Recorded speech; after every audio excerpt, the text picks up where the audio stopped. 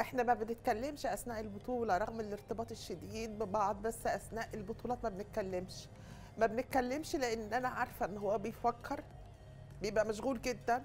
آه، بيفكر على طول ملم بأصحاب المنتخب و آه،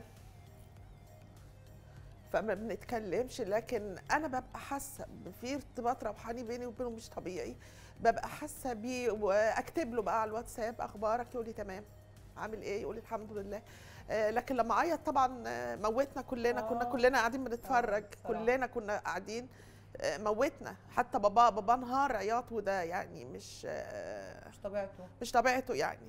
أنا بحس إن كان شعوره يمكن وقتها إنه كان واخد قرار الاعتزال الدولي فيمكن وقتها كان آه، آه، العياط ده أو دموعه اللي نزلت أنا ما افتكرش شفت أحمد بيعيط آه، يمكن دي كانت ثالث مرة في حياتي كلها من ساعة ما اتولدنا إني أشوف إن أحمد بيعيط دي كانت يمكن ثالث مرة لكن بحس إنه يمكن وقتها كان علشان يمكن كان خلاص واخد قرار الاعتزال فيمكن كان حاسس إنه هيودع الملاعب دولي فده كان ميدالية برضه. كان نفسه ياخد ميدالية بالظبط قبل آه. ما يودع الملاعب دولي فكان نفسه في البرونز قوي يعني أولمبياد برونز أولمبياد حاجة آه، مختلفة لأن أنت فاهمة يا دينا إنه فكرة اللي يقول أنا لعبت خدت دوري غ- وكاس غير خدت بطولة أفريقية غير خدت بطولة عالم غير وصلت الأولمبياد وجبت فيها ميدالية.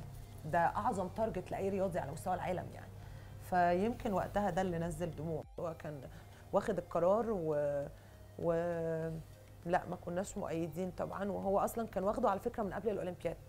كان واخده بالظبط من بعد مباراة الدنمارك لأنه كان آه، آه، زعل قوي في المباراة دي وقعدنا تقريبا أسبوع بنحاول نكلمه أو بنحاول نوصل له حتى آه، زوجته وولاده في البيت كانوا لا هو قافل على نفسه أوضة وكان متضايق جدا جدا.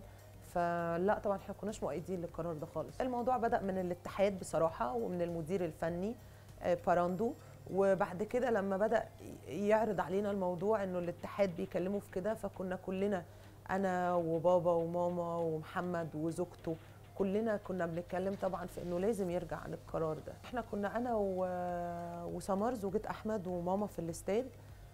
ربنا وحده بس اللي يعلم بينا إحنا روحنا إزاي. وأنا فاكرة إن يعني زوجته روحت وطبعا كانت متضايقة جدا جدا. مامتي كانت تعبانة جدا ضغطها عالي في اليوم ده وكان آه، المفروض إنها تروح مستشفى بس هي رفضت. آه، أنا وقتها فاكرة إني لما روحت بيتي برضو ده من ضمن الحاجات اللي بكلمك عليها في إنه قد إيه صعوبة الإعلام يعني. وقتها اتصلوا بيا إن أنا أطلع حلقة. في في اون يعني بعد ما كنت وصلت تحت البيت. ف رحنا وعملنا ده ويعلم ربنا كانت مامتي عاملة إزاي في البيت وزوجته وبابايا وأخويا وفي نفس الوقت أحمد نفسه بقى مش عارفين عنه حاجة خالص قفل تماما على نفسه. يا دوبك لم فرقته وقتها وروح وقفل على نفسه تماما.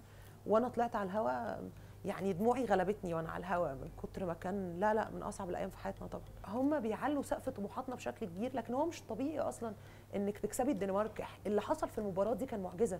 انت بتتكلمي عن بطل أوروبا في, في, في آخر نسخة بطل آخر أولمبياد بطل كأس العالم في النسخة اللي قبل اللي هي 2021 2019 بطل أولمبياد ريو دي جانيرو آه، بطل أوروبا في نسختها اللي قبل ال- الأخيرة. فانت بتتكلمي عن فريق زي ما مثلا آه، آه، مش عارفة أقول لك إيه مثلا مصر تلعب منتخب إسبانيا أو فهو مش طبيعي إن انت هتبقى الناس إن انت تكسبي الدنمارك الموضوع صعب جدا يعني مش بالسهولة دي.